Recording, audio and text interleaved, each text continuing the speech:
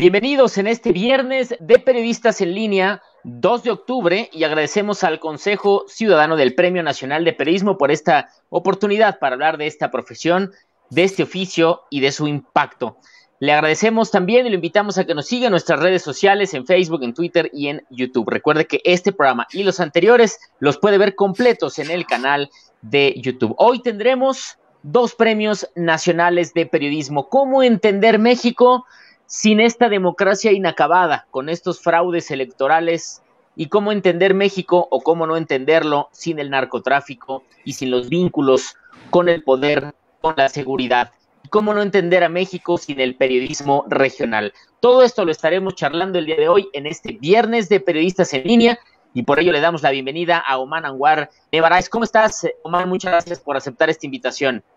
Muchas gracias a ustedes, Armando, y al Consejo por acordarse de los, de los pobres y aquí estamos para lo que se diga y para platicar un, momento sobre la hermosa experiencia de haber eh, ganado ¿no? el Premio Nacional de Periodismo. Gracias. Muchísimas gracias y también le damos el más cordial saludo a Juan Carlos Zúñiga. Juan Carlos, buenas tardes. ¿Qué tal? Muy buenas tardes. Gracias por la invitación. Saludos, hermanos. Saludos, Oman. Y saludos a los integrantes del Consejo Ciudadano del Premio Nacional de Periodismo y a las personas que están siguiendo esta transmisión. Muchas gracias desde Hermosillo, eh, con 40 y sabe cuántos grados tenemos. Un saludo. Esta transmisión desde la Ciudad de México, Arizona, Estados Unidos y Hermosillo, Sonora. Así que bienvenidos. Vamos con Oman Nevaraes. Él es egresado de la Universidad de Sonora Periodista experto en temas de investigaciones especiales y temas de seguridad pública, ha trabajado en los diarios más importantes de Sonora y Coahuila, así como en la agencia de Associated Press, bien conocida como AP. Sus textos sobre violencia y narcotráfico en la frontera norte de México se han publicado en todo el país y también a nivel internacional en medios como The Washington Post, Miami Herald, New York Times y Forbes. Actualmente se encuentra en una distancia, en una sana distancia social del mundo de las letras. Su premio, el premio, fue por un texto El cuarto pasajero, un narcotraficante que parece que de pronto se desapareció. Oman, ¿cómo estás? Qué gusto de verdad que estés con nosotros y cuéntanos esta experiencia, este texto, esta investigación de El cuarto pasajero. Sí, pues eh, nuevamente muchas gracias por la, por la invitación y, y sí, pues nos tocó con este trabajo empezar una, etapa difícil, ¿no? Para, para el, el, periodismo en México, para la reporteada en, en, México, porque se dio precisamente en la, en la coyuntura en la que empezó a, ser violentado de manera eh, muy grosera, este, total, el periodismo por parte de, de la gente involucrada con el narcotráfico. Eh, no, no había sido, digamos, este, un camino eh, tranquilo para el periodismo en México, pero regularmente los problemas eran por temas políticos, ¿no? Las desapariciones o, los asesinatos tristemente habían sido históricamente por, por temas políticos, pero más o menos en las fechas en las que nos tocó andar ahí en, en estos menesteres, pues fue cuando se da eh, ese cambio a, que eh, también empiezan a, a, ocurrir problemas y que llegamos a ser también de manera muy lamentable un primer lugar o de los primeros lugares en el mundo, este, o, de, los lugares más peligrosos eh, para ejercer el, periodismo, comparado incluso con zonas de, guerra ¿no? y con otros países. Ya son este, 15 años de, que tuve la, fortuna de que me hicieron el, honor de, premiarme con, en la categoría de, de noticia, con ese trabajo que se conoció como el cuarto pasajero. Ahorita vamos a comentar por qué ese nombre y de, qué se trata el asunto. Pues básicamente si hacemos un, recuento de lo, ocurrido, eh, fue un 11 de septiembre, la madrugada de, un 11 de septiembre de 2004, cuando eh, cuatro personas que iban a bordo de un, vehículo, de un máxima, por ahí pasan afuera de, de un antro ya eh, envalentonados por las, por las copas, le empiezan a, a piropear a una, a una muchacha, su acompañante lo defiende y ellos se bajan de, del vehículo y lo agreden a, a, culatazos, ¿no? Y después dan la fuga. La, esto fue, fue como a 1.30 de la madrugada. de la mañana de, ese 11 de septiembre y se da una persecución porque fue esto afuera de un antro a unas pocas calles de la, de la comandancia centro de la Policía Municipal de Hermosillo. Se da una persecución, detienen el, el carro por ahí en un, en un bulevar, sale corriendo la, la, gente que iba adentro, los cuatro ocupantes, los detienen y los, los presentan, ¿no? Ante el, juez calificador y los turnan al Ministerio Público. Ellos traían unas, unas porciones pequeñas como para consumo eh, de, de, droga y traían pues un, también un pequeño arsenal, ¿no? Eh, cada quien traía su arma larga, sus pistolas. Y, y, bueno, aquí el asunto, y por qué se le llama cuarto pasajero, es porque los cuatro entran en las, las primeras horas de este 11 de septiembre, entran o se les da ingreso, pues, eh, legalmente por portación de arma de fuego y resistencia particulares o algo parecido, ¿no? Por, por la, la huida. Eh, pero en algún momento de la noche, uno, uno de ellos este, vuelve a ser ingresado al sistema de cómputo y ya no es ingresado por portación de arma de fuego, sino que este segundo ingreso que se da creo que las, por ahí de las 5 o 6 de la mañana, ya se lo dan como por ebrio escandaloso, algo así, y paga una, una multa de 150 pesos y se va. Al siguiente día, eh, a, la, usanza de la, policía, eh, también se hace una, presentación ante medios, no con ellos en vivo, pero sí se presume, digamos, el logro de la, policía municipal de haber detenido a, tres personas armadas. Y ese fue el, el asunto, que ellos solamente presentan a tres personas y desde el principio los, rumores y, los mismos policías nos comentaban que, qué pasaba, que eran cuatro, pues que eran cuatro, y de ahí de, derivó pues e, ese, ese mote con el que en el, en el periódico, en el imparcial, se, se conoció este caso como el cuarto pasajero. Entonces la incógnita era quién era el cuarto pasajero, quién era el cuarto ocupante de, de este vehículo, que en ese momento solamente teníamos dos nombres, eh, el nombre que habían dado ellos como autoridad era el nombre de Eduardo Márquez Fragoso. Ese era el alias con el que, el alias después supimos, ¿no? Con el que él se identificó, porque se identificó con eh, documentación apócrifa y demás, pero bueno, obviamente esto derivó en un, en un escándalo, hubo policías que terminaron en, en proceso penal, un juez calificador también tuvo problemas por haber eh, hecho esta doble entrada, tuvo también problemas eh, penales. Realmente con el paso de los años no sé en qué terminó para ellos en lo, en lo, en lo penal. Este, poco a poco la, la gente fue ahí, este, se fue como que perdiendo el interés, ¿no? De, de, de esa parte del seguimiento de, de, los tres ocupantes y de los policías, pero la figura central siempre fue este cuarto pasajero, este, esta persona que supuestamente se llamaba Eduardo Márquez Fragoso. ¿Cuál fue el asunto para nosotros? Pues para nosotros fue identificarlo, quién era realmente. Y él era Daniel Irene Enrique Parra, un, eh, integrante de una, familia, tengo que decirlo legalmente, que presuntamente se dedicaba al, narcotráfico en el sur de Sonora, en, la sierra de, Álamos, en esa, en esa región. Ellos como familia eran conocidos como los güeros pero como parte de la organización de, del Pacífico o de los, más o menos de los Beltrán Leiva y toda la gente que estaba en ese tiempo, eran conocidos como los, los números, ¿no? Este, por ahí estaba el 2000, el 24, que hasta corrido tiene, este, ellos mismos que también tienen otros, otros corridos, que es una de las manifestaciones populares, ¿no? En, en, en el Pacífico, en el norte, para esta gente. Él era el 7, me parece, y su nombre real es Daniel Irene Enrique Esparra. Y bueno, empiezan a, suceder muchas, muchas cosas al, alrededor. Primero, ¿cuál es la experiencia de, de, este trabajo?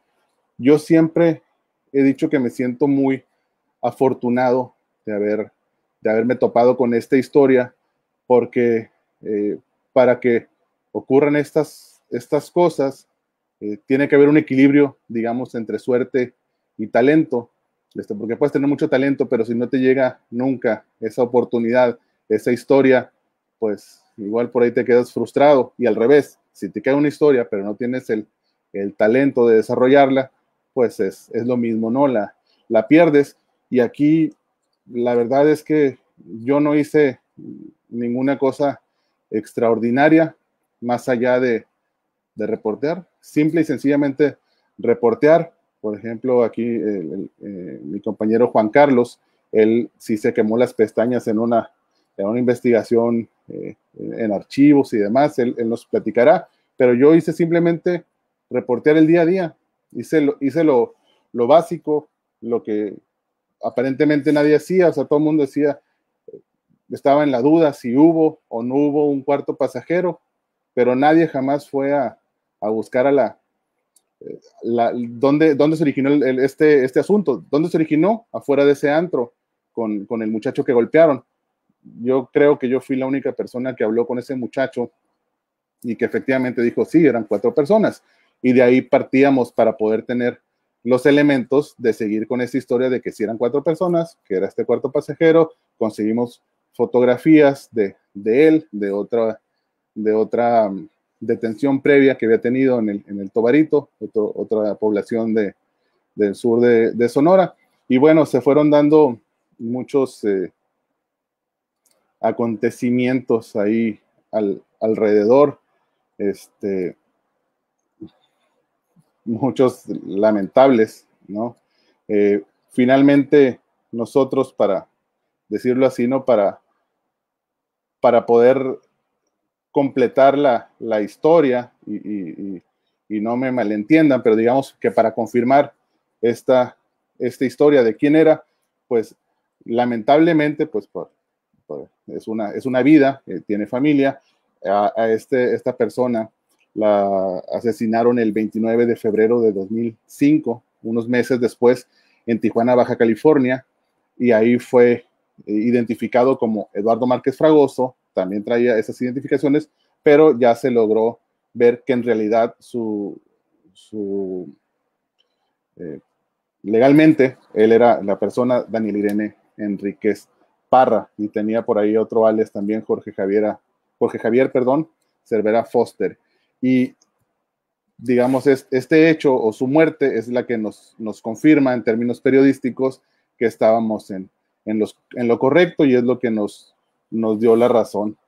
¿Qué trascendencia hubo después de, esto en, mi persona o en el periodismo de, de Sonora o de México? Pues yo no, yo no alcanzo a ver los, los, límites de cómo esta historia marcó a, a mucha gente. En lo personal, pues hubo hubo amenazas de muerte, hubo persecución, este, uno de nuestros compañeros fue desaparecido, obviamente asesinado. Eh, muchos de los, de los integrantes de esta historia murieron, como el mismo Daniel Irene, su hermano eh, Raúl, muchos de los participantes en la desaparición de, nuestro compañero Alfredo Jiménez Mota, que de alguna manera dio seguimiento a, a esta, a esta historia. Y, bueno, pues tristemente se inició una, una etapa negra para, para el periodismo en Sonora, en, particular, con, con, este asunto y en México en general, ¿no? ¿Qué, qué más, ¿Qué más salió? Pues otras cosas y otros proyectos, ¿no? Como eh, haber trabajado con la Sociedad Interamericana eh, de Prensa y haber logrado unir a todos los, los eh, medios de, de, México para pues decir basta, ¿no? Y para alzar la voz y, pedir eh, justicia y, pues garantías, ¿no? Para, para los periodistas en, en, México y espero no haber agarrado monte. No sé si andamos en tiempo. Armando. Andamos muy bien, Oman. Eh, vamos a regresar en un momento más contigo porque, bueno, esta historia refleja mucho de lo que ocurrió en el país y después de lo que se agravó eh, después de 2006, 2012, que fue una época muy complicada, mucho más eh, compleja y más aún para periodistas eh, a nivel estatal. ¿Dónde está cómo se puede ejercer ese periodismo. Lo vamos a platicar en un momento más contigo. Vamos con Juan Carlos Zúñiga, que también es egresado de la Universidad de Sonora, con 23 años de experiencia profesional. Ha sido reportero y editor del periódico El Imparcial, director editorial del periódico Expreso, conductor de noticias de TV Azteca y Telemax, donde fue gerente de noticias. En radio, inició en Grupo Asir y actualmente es titular del noticiario Reporte 100 en Uniradio. Desde enero es también gerente de noticias en Mega Noticias Hermosillo de Mega Cable, en donde es titular de varios, de dos noticiarios, uno a nivel nacional, TBC, y otro a nivel local. Así que si alguien desayuna, come, duerme y sueña noticias, eres tú, Juan Carlos, ¿cómo estás? Eh, bienvenido. Y el fraude electoral de 1985, ese, esa investigación muy bien documentada que te llevó a recibir el Premio Nacional de Periodismo. Adelante, Juan Carlos, y muchas gracias. Muchas gracias por la invitación. Y sí, como que ahorita que estaba haciendo Man Nevares la narración de lo que ocurrió con su reportaje, pues no puedo evitar recordar que esa familia, o sea, ese personaje, la familia de los Enriques Parra, es a quien se le atribuye la desaparición de uno de los periodistas eh, en este país, que es Alfredo eh, Jiménez Mota, que está desaparecido. De hecho, eh, fueron muriendo uno, uno tras otro los Enrique Parra, ya no hay ninguno, según yo, vivo. se decía que porque el Chapo Guzmán había, se había encargado de hacerle justicia a Jiménez Mota, pero en fin. Bueno, pero eso es otra historia. ahorita que decía Humán de Vares de, de que se tiene que tener talento y suerte, pues yo tuve muchísima suerte. No sé si tenga talento, pero o si tenía talento y si tengo talento ahorita, pero tuve muchísima suerte. mi, reportaje, el reportaje del fraude electoral de 1985 en Sonora fue un chiripazo. ¿Y por qué digo que fue un chiripazo? Porque era el año 2001, el año 2001-2002, eh, rumbo a la elección de 2003 en Sonora iba a haber renovación de la gubernatura.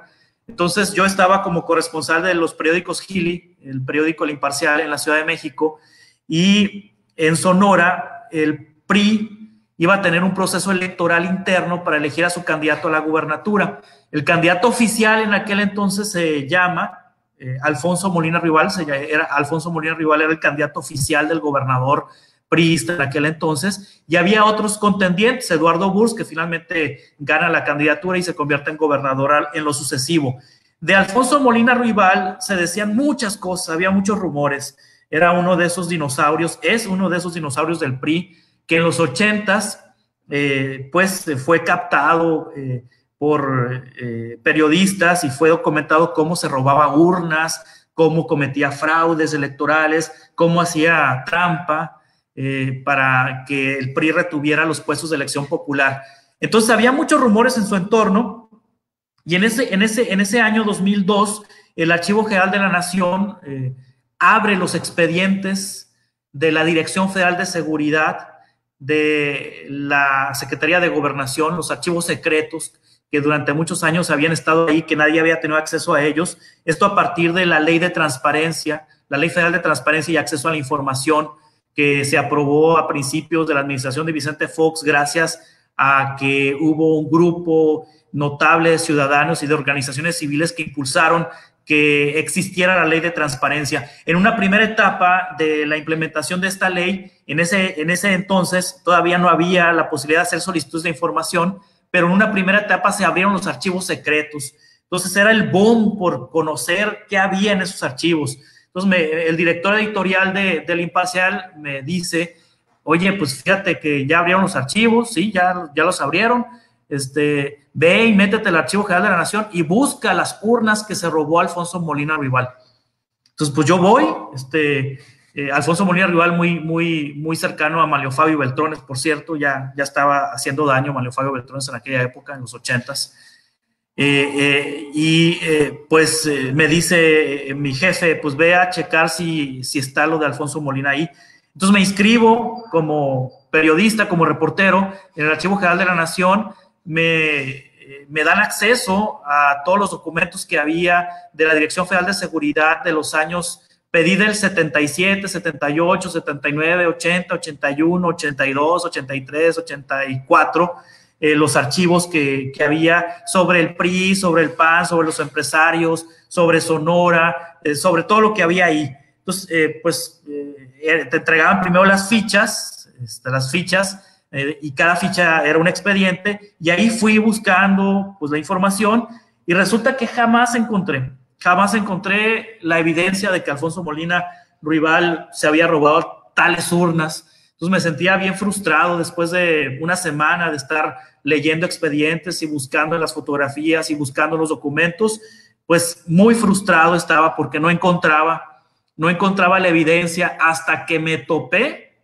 con indicios de que se estaba fraguando un fraude electoral en, el, en 1984 eh, para imponer a un candidato del centro en Sonora, eh, a, una, a un personaje que posteriormente fue gobernador, Rodolfo Félix Valdés, que era secretario de Comunicaciones y Transportes de Miguel de la Madrid, que había nacido en Sonora, eh, el ingeniero Rodolfo Félix Valdés, pero que a los dos, tres años se lo habían llevado de Sonora y jamás había regresado. Entonces era una persona ajena a Sonora que por el solo hecho de haber nacido nada más aquí, ya eh, lo querían hacer gobernador, a pesar de que no tenía arraigo, que no tenía presencia en el Estado y que ni siquiera conocía la entidad. De hecho, aquí en Sonora era muy conocido el chiste de que eh, aquí en Sonora hay un término que se dice apapuchi. Cuando llevas a alguien a papuchi es porque lo llevas a los hombros, así.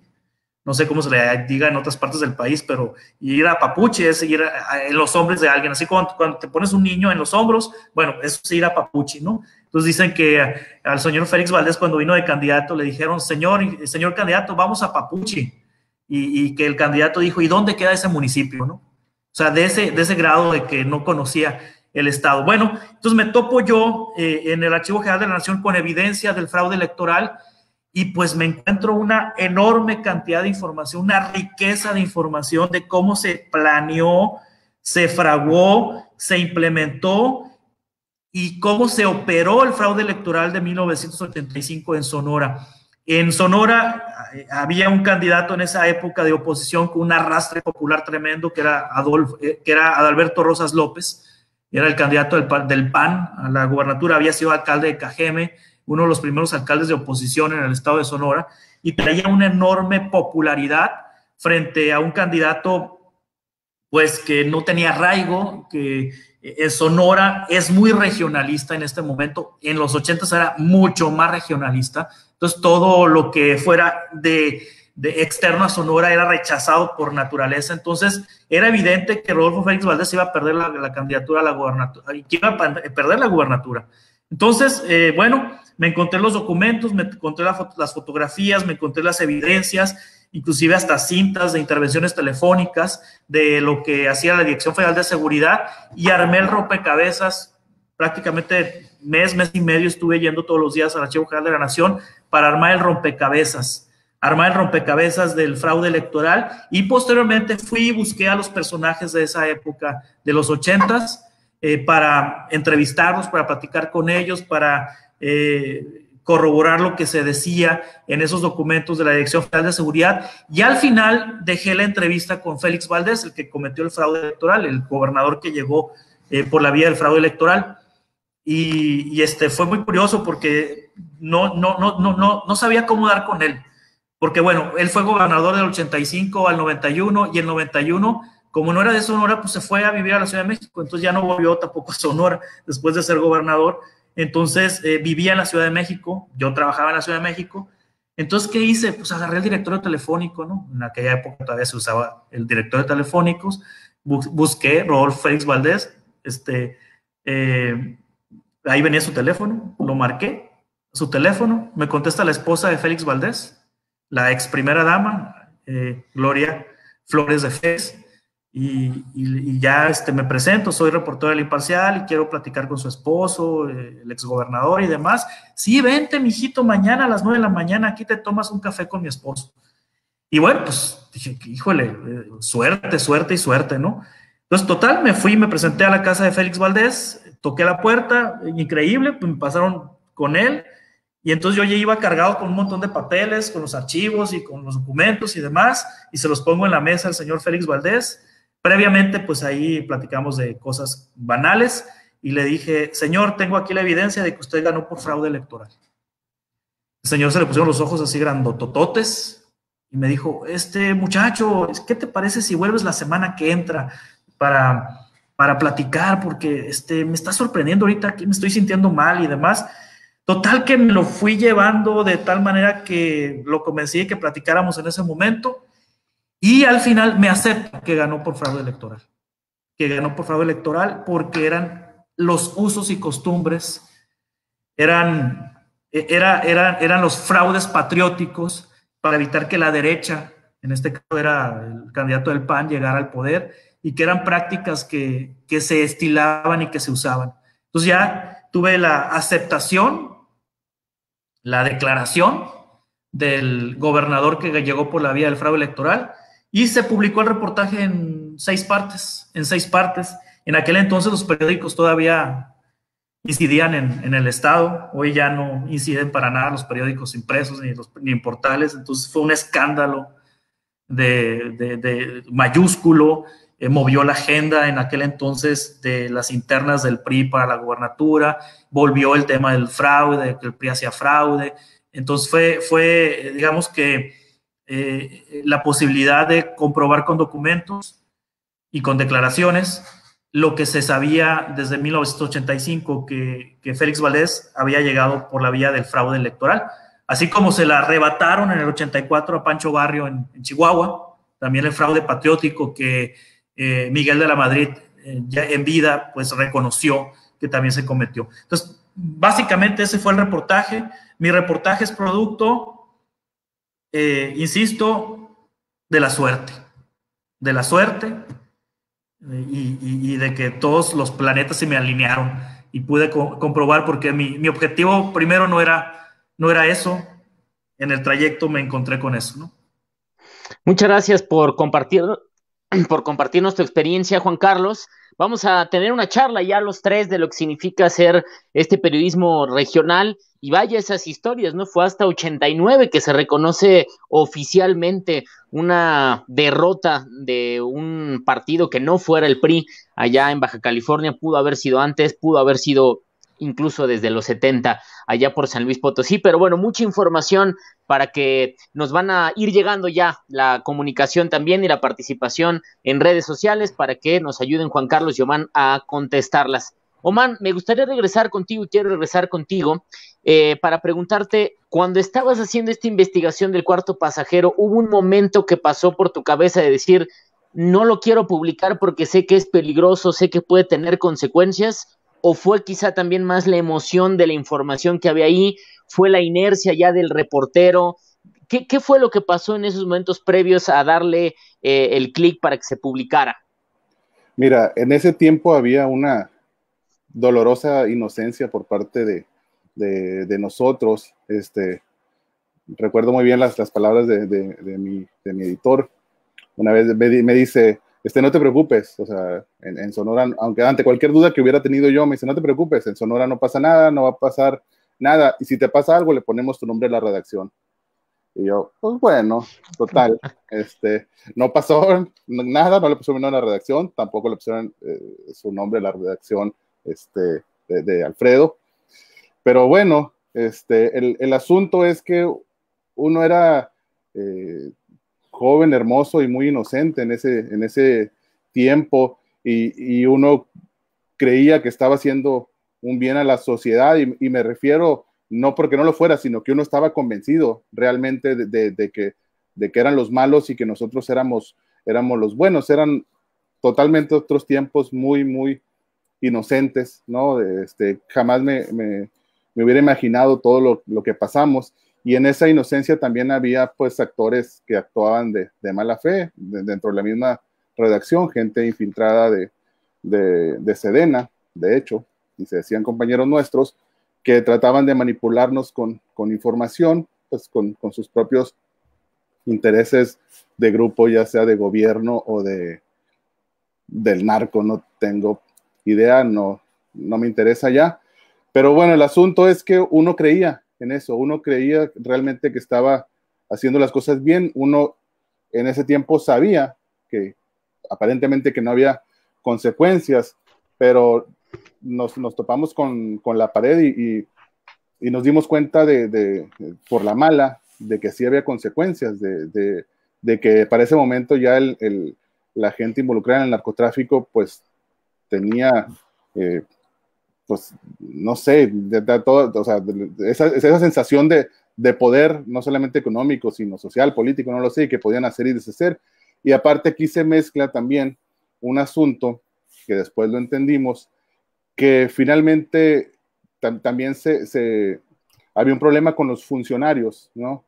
Y los, de repente, lo, diferente a lo que uno pueda pensar, el funcionario es el que puede reaccionar de una manera más violenta, porque el delincuente ya es delincuente, ya es perseguido, no tiene nada que perder socialmente, por decirlo así, pero el, el funcionario el político se supone que tiene un prestigio, tiene un nombre y tiene cosas que, cuidar, ¿no? Y, por eso pues se dieron muchas cosas eh, después de, la publicación que, hacíamos nosotros, hubo, se activaron cosas que después supimos que eran una especie de, protocolos por parte de, delincuencia organizada.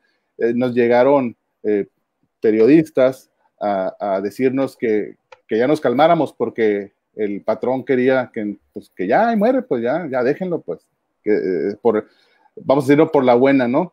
Después aparecieron unos personajes ahí supuestamente de derechos humanos, que si no mal recuerdo era un abogado, que era el abogado, creo que fue el abogado de la quina, algo así, ¿no? Este, pero bueno, ya fue como a victimizar, tratar de victimizar a, este, a esta persona, al cuarto pasajero, ¿no? Eso fue como una segunda etapa. Después ya llegaron las amenazas eh, directas hacia, hacia nosotros en general, hacia, hacia mí en, en, particular. Y ya pues esto parece que, que, concluyó ¿no? en el último escalón de esto, pues fue la, la, desaparición de, de uno de, de, de, nuestros compañeros, ¿no? Y fueron tiempos muy, muy difíciles, ¿no? Para, para todos. Yo no sé si hubiera si lo volvería a hacer, por decirlo así. En mi corazón, quiero pensar que sí, este, pero ahorita como mi contexto es muy diferente, como tengo hijos y demás, ni de loco lo, lo vuelvo a hacer, por, por decirlo de alguna manera, ¿no? Regreso contigo, Man, eh, y ya tenemos varias preguntas y participación, pero quiero ir con una pregunta contigo ahora, Juan Carlos, porque hoy vives en la vorágine de la inmediatez, eh, tienes dos programas de radio, el programa de televisión, tienes mucha responsabilidad de crear mucho contenido y, crear contenido de calidad y si me equivoco eh, me corriges, pero desde mi percepción, cuando he estado en, esos trabajos es, es muchas veces más la presión de llenar espacios que realmente de profundizar temas y, y la verdad me parece que no solo es suerte de lo que decías, es un privilegio poder hacer una investigación de largo aliento, de poder eh, e incluso frustrarte en el camino, de no encontrar, explorar y de pronto que te vaya llevando a, otros lugares la misma investigación. ¿Cómo lidias actualmente en las responsabilidades que tienes con el compromiso de crear este contenido que tienes que crear, con esa pasión y quizás el idealismo de hacer periodismo de largo aliento, investigaciones más profundas? ¿Se puede? ¿Es muy complicado? ¿Cómo lo ves ahora desde la trinchera directiva? Eh, pues dar la oportunidad de trabajar y hacer equipo con reporteros, trabajar y hacer equipo con editores, es decir, eh, me toca ahora coordinar este tipo de trabajos, me toca eh, trabajar con reporteros en, el diseño de este tipo de temas. en Sonora, este, hacer la diferencia está bien fácil, está bien fácil. ¿Por qué? Porque lamentablemente muchos medios de comunicación, la mayoría, son medios oficialistas y oficiosos. La mayor parte de la prensa en Sonora, lamentablemente, se la juega con el poder en turno y ahorita están en, la, en la, lógica de transitar hacia el siguiente poder en turno. Entonces, eh, hacer la diferencia en Sonora en materia de periodismo es, es, bien, es bien fácil. Es bien fácil. ¿A qué me refiero a, hacer la diferencia? A, a que puedes investigar notas o puedes llevar perspectivas de información distintas a la generalidad y eso de inmediato te diferencia de otros. Entonces, ¿de qué manera en la inmediatez se hace periodismo?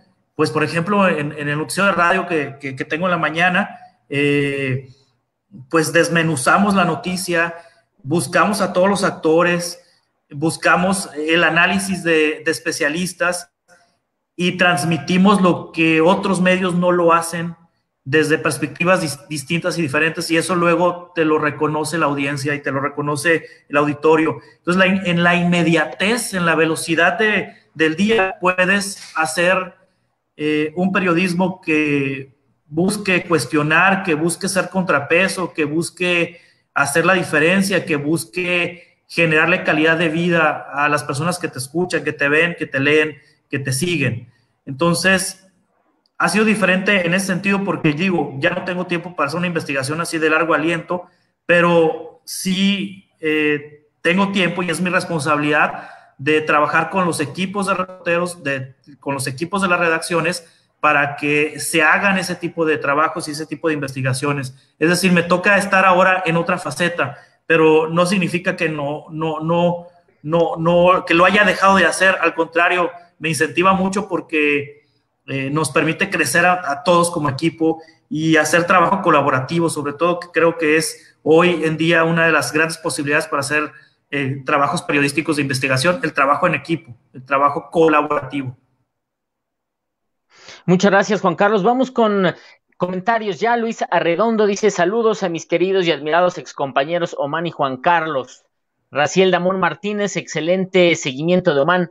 Ese es el periodismo. La noticia no termina en el momento en que se transmite, sino precisamente en el seguimiento que se hizo eh, y con este enfoque periodista. Un ejemplo para abatir la impunidad, dice Raciel Damón.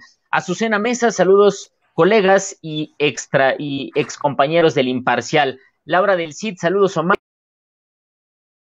Tamaño de destape el de Juan Carlos, un fraude electoral que parecen patentados, lamentablemente, por nuestro país. Abrazos. Pablo Valencia Carranza, me quedé sin datos o se interrumpió la transmisión. Parece que hasta el momento sigue la transmisión. Un saludo a Pablo Valencia Carranza, que siempre está con nosotros todos los viernes.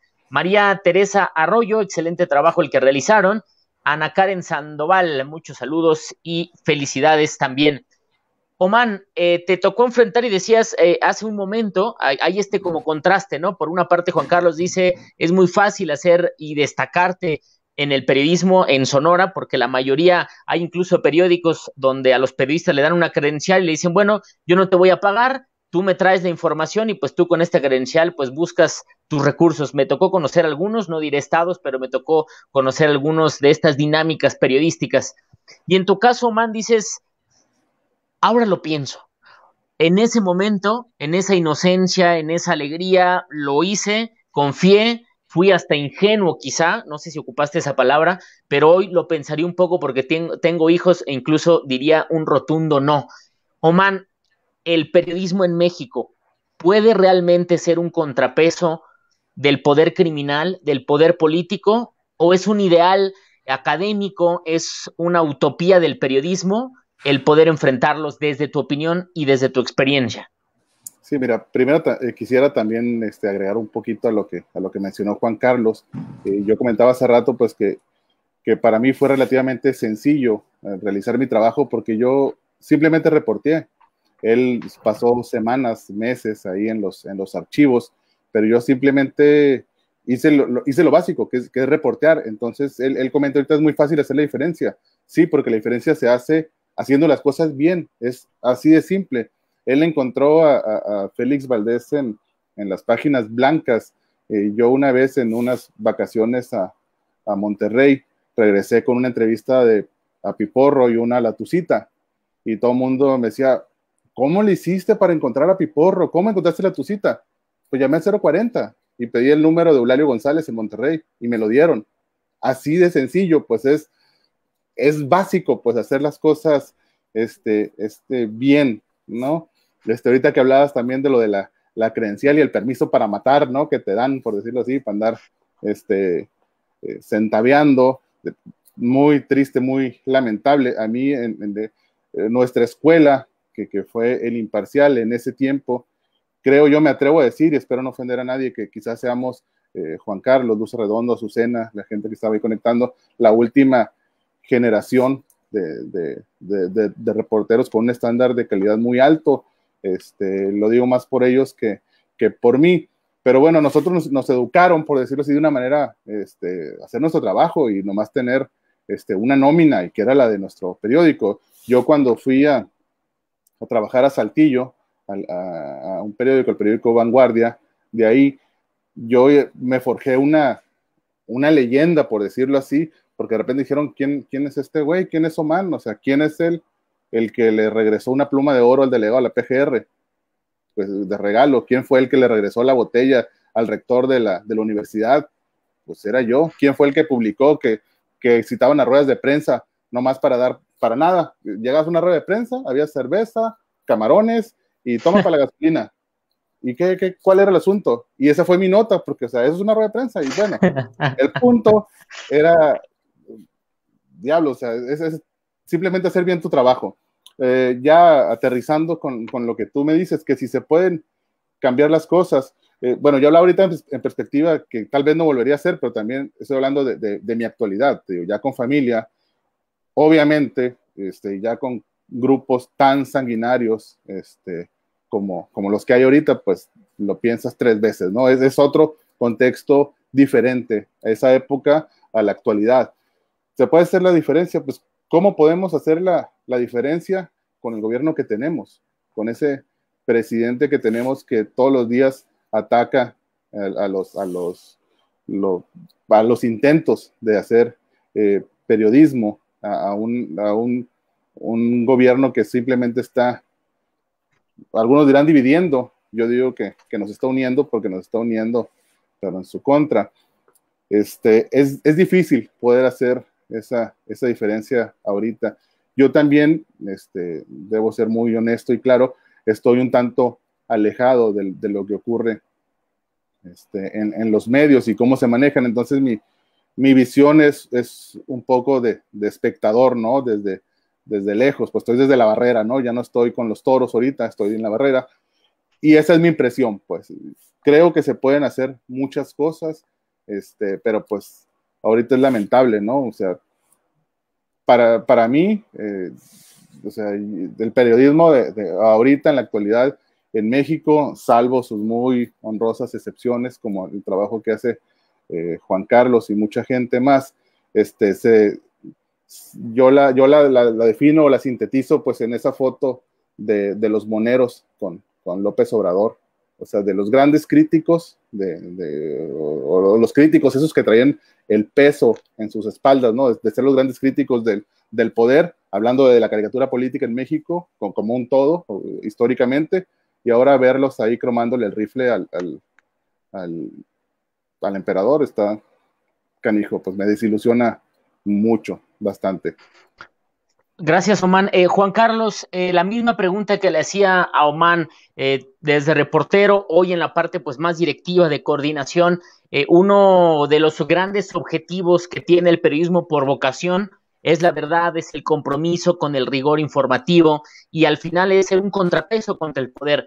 Se puede ser un contrapeso real contra el poder político, en tu caso que estás más eh, eh, involucrado en, temas de política, aunque también de seguridad y narcotráfico, ¿se puede ser un contrapeso real contra el poder político a nivel estatal, a nivel nacional, con el narcotráfico, con estos grupos que nos dice Oman que son cada vez más radicales y violentos? ¿O eso es un ideal de la escuela nada más? Yo creo que hay, hay, alternativas. Eh, hay alternativas en el caso del periodismo que tiene que documentar el asunto del narcotráfico. Hay, hay protocolos, hay, hay, maneras. Eh, es más difícil que cuando nos tocó a Oman y a mí, que cuando le tocó a Oman reportear lo que reporteó, ya estaba la amenaza del narco, ya estaba la amenaza de toda esta situación que se desembocó a partir de 2006, 2007 pero no nos habíamos dado cuenta porque éramos muy inocentes aquí en Sonora, ¿no? decía Jorge Morales, el director editorial de, del Imparcial en aquel entonces, que, que, perdimos la virginidad porque creíamos que, y, disculpen por el término, creíamos que nada nos iba a pasar, pues, ¿no? Que nada iba a ocurrir, que todo era alrededor de Sonora, pero no en Sonora, en fin. Pero sí, sí es riesgoso, este, pero yo creo que sí tenemos un compromiso con la historia, tenemos un compromiso con, con esta generación y con futuras generaciones tenemos que documentar lo que hace el narco, sí, pero no lo podemos hacer en nuestros lugares de origen. Es decir, yo no puedo reportear narco aquí en Sonora con pelos y señales y demás, porque me van a matar. Me van a matar y van a matar a cualquier reportero, pero sí se pueden realizar investigaciones en donde varios reporteros y varios medios de comunicación eh, realicen coberturas de manera simultánea. Entonces yo pudiera cubrir a otro estado, alguien de, de otro estado puede venir para acá y así empezar a armar coberturas que tengan que ver con el, con el narcotráfico. Ahora, del poder político, ¿sí? Del poder político y del poder económico, sí se puede Adelante, adelante, Juan Carlos. Sí, del poder político y del poder económico sí se puede ser contrapeso. Creo que la clave, ¿cuál es la clave para hacer contrapeso como periodistas del poder? No tener compromisos con ellos. O sea, entre más lejos, mejor. Entre menos nos veamos, mejor. Entonces, el coletazo del poder es menos rudo cuando el periodista no tiene compromisos con el poder. ¿A qué me refiero esto? Pues a este, no ser chayotero, no tener contratos con el, con, el poder, o sea, no tener contratos con el gobierno, no tener contratos con, con el poder económico y si uno trabaja en un medio de comunicación, pues eh, divorciar el área de redacción con el área comercial y divorciar el área de redacción con las relaciones públicas o políticas del medio mediante una negociación con los dueños del medio y mediante cero compromisos con el poder. Entonces, creo que sí, sí hay posibilidad de ser contrapeso del poder. Es difícil, pero sí hay posibilidad de hacerlo y creo que en México hay muy buenos ejemplos en este momento de periodismo que está haciendo contrapeso del poder. Muchas gracias, Juan Carlos. Como resumen de lo que dices, me quedo con tres claves muy concretas. Primero, hacer estas eh, coberturas simultáneas, ¿no? Me, pienso un poco como en la policía. Es decir, cuando se hacen operativos, pues los más fáciles de ubicar son los policías municipales y si un policía municipal actúa en un operativo contra el narcotráfico, pues son los primeros que van a caer. Los narcotraficantes saben dónde están los, policías municipales, quiénes son, dónde comen, quién es su familia, y los federales no, pues los van rotando y bueno, ahí hay una poquito de posibilidades de que las venganzas no sean eh, pues tan directas, ¿no? Un poco el periodismo podría pasar algo similar. Entonces, en primer lugar, estas coberturas simultáneas. Segundo, la distancia. Y tercero, me parece un concepto muy claro y muy práctico, separar lo que es el área comercial de un periódico con el área editorial de un periódico. Fundamental esas, al menos me quedo con esas tres. Oman, hoy a la distancia, tú dices, yo ya no estoy en, los toros, estoy un poquito en la barrera. A esta distancia, con tus años de experiencia, ¿cuáles son las recomendaciones que le haces a los periodistas y a los estudiantes o aquellos que quieren estudiar periodismo o dedicarse a este oficio que es mucho más de vocación y de propósito que de otras cosas? Sí, definitivamente tiene que haber una, una vocación, tiene que haber un, un, amor por, por esto, por las, por las letras. Fíjate, curiosamente, en, en, mi caso, es, este amor por la, por la escritura viene de mi familia. Mi madre fue quien, quien me enseñó a leer y escribir. Ella maestra, fue mi maestra literalmente, quien me enseña y, después ya la, la, vida me lleva hasta la Universidad de Sonora eh, a, a, estudiar y pues ser, ser reportero es, un, es una vocación, es un sentimiento, te, tiene que, te tiene que gustar. Y la recomendación es, como en cualquier oficio, cualquier trabajo, cualquier actividad, cualquier arte, lo que sea, si lo vas a hacer, hazlo bien. Eso es así de, de, sencillo. Pon, pon todo tu, tu, empeño, échale todas tus ganas y, y cuídate. No, no tomes, hay gente que dice que no tomes riesgos innecesarios, pero yo no sé si existen los riesgos necesarios, ¿no?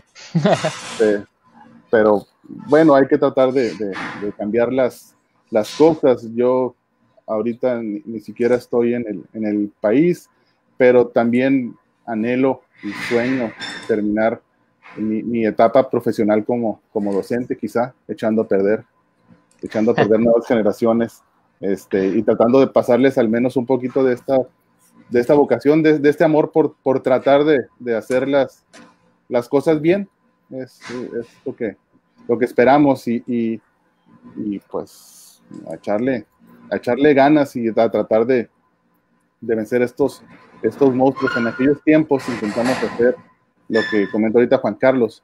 Se logró hacer una publicación simultánea en todos los medios de, de México hicimos un grupo eh, para investigar ¿no? este, diferentes temas o desapariciones en, los, en los estados y éramos, éramos como 10 los que empezamos.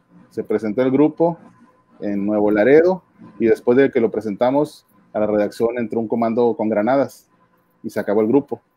Al final terminé solamente yo escribiendo en, en eso y eso también te da una, una dimensión o un panorama de, de, cómo estaban las cosas en ese, en ese momento, pero pues hay que seguirle dando.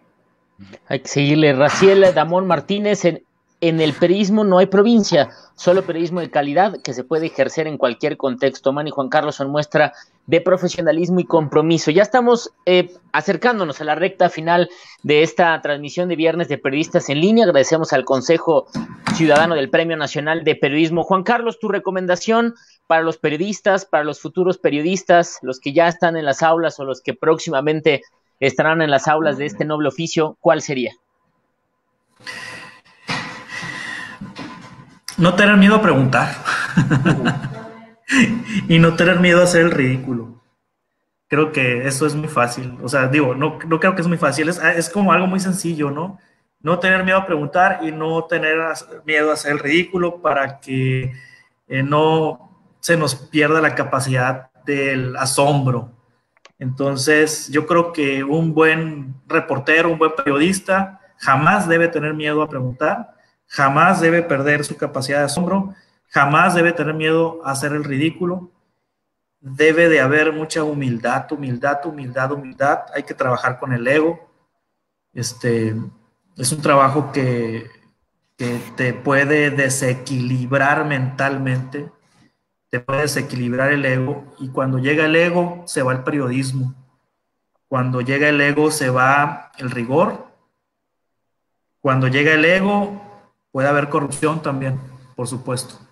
Entonces creo que eh, es una combinación de humildad, de dudar de uno mismo permanentemente.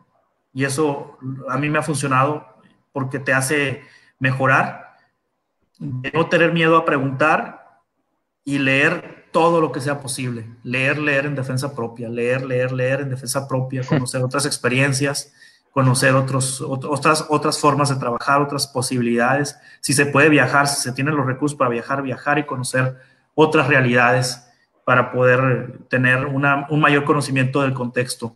Entonces yo, yo digo, o sea, a mí me parece muy, algo muy, muy facilito, pues, ¿no?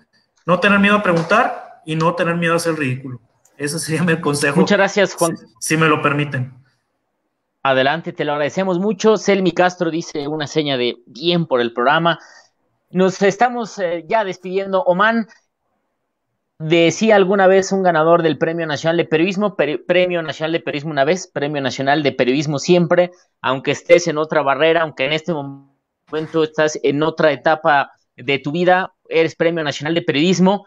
¿Qué cambió en ti? ¿Qué cambió en tu profesión, en tu vida, el haber recibido el Premio Nacional de Periodismo? Un premio que además, eh, cuando lo recibes, ya no era este premio del poder, era un premio eh, justo de la parte académica, profesional, con, con, el rigor de académico y de compañeros de periodismo.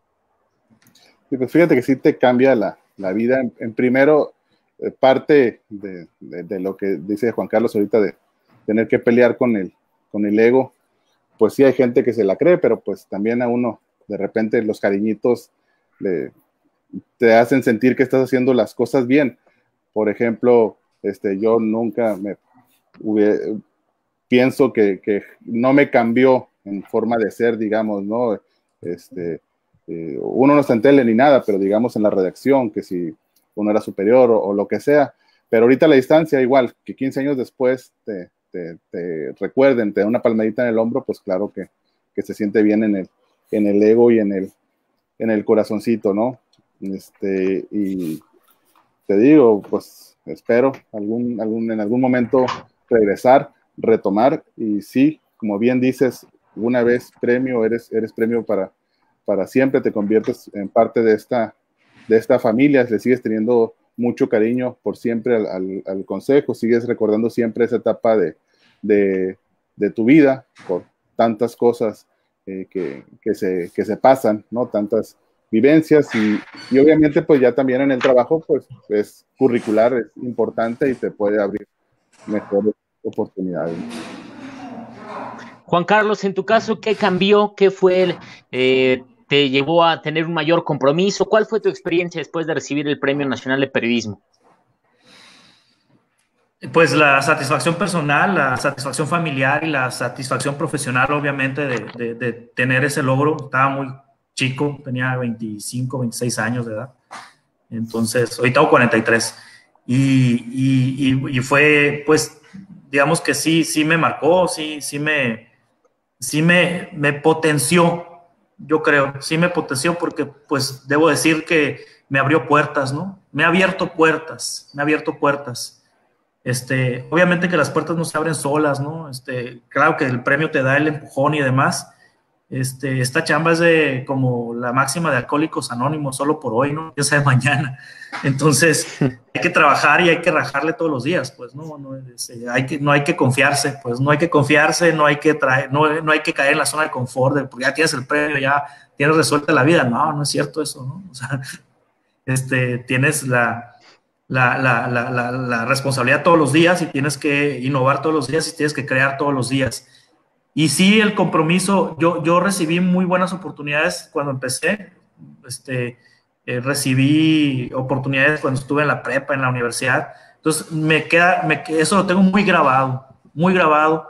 Y cada vez que yo me encuentro un morro de 20 años, 18 años, de 23, 22 años que está empezando en esto, este, lo que yo pueda ayudar, le abro la puerta y, este, y, me, acuerdo muy bien de lo que hicieron conmigo, pues entonces es una forma de, ser corresponsable. E, e, e, eso, eso podía comentarles.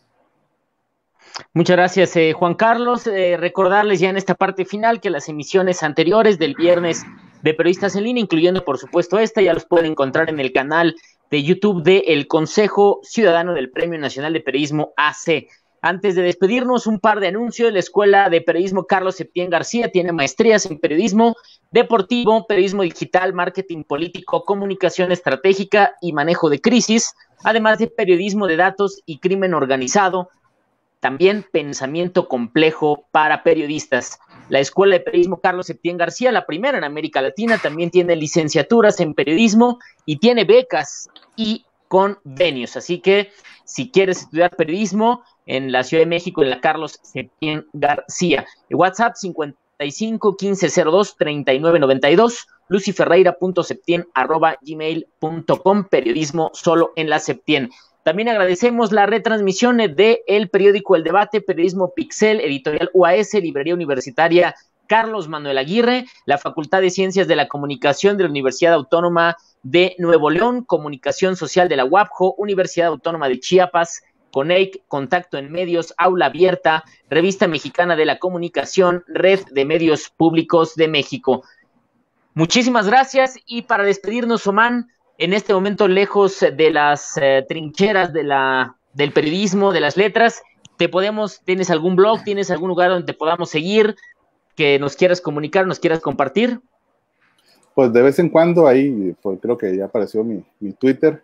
Es básicamente donde me pueden ahí seguir. Y ahí tengo, muy de vez en cuando tengo ahí mis catarsis eh, sobre lo que pasa en México y, bueno, blog no tengo, tuve por aquí algún, algún programa, pero era sobre lucha libre, era otro, otro tema totalmente diferente.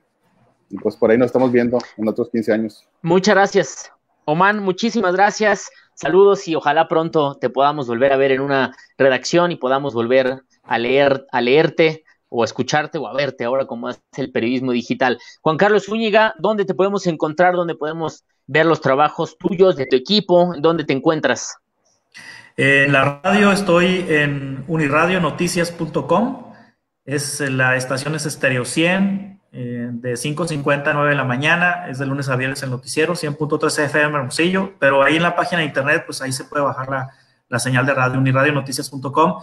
En la tele estoy en Mega Cable, en Mega Noticias, a la, a la una de la tarde de la Ciudad de México, en el 150 151, 1150, 1151 de Megacable, es Mega Noticias TVC, es noticiero de 1 a 2.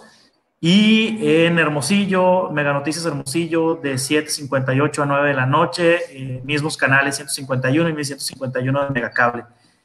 Y este, pues en las redes sociales, Facebook, Juan Carlos Zúñiga, con, con, Reporte 100, con el hashtag Reporte 100. Eh, mi Twitter es arroba Juan C. Zúñiga, ahí está apareciendo. Ahí viene mi correo electrónico y pues ahí, ahí nos vemos. Muy bien, muchísimas gracias. En verdad un honor poder compartir este viernes de periodistas en línea con ustedes. Así llegamos al final de esta transmisión y nos vemos el próximo viernes en Viernes de Periodistas en línea. Hasta la próxima. Gracias. Bye.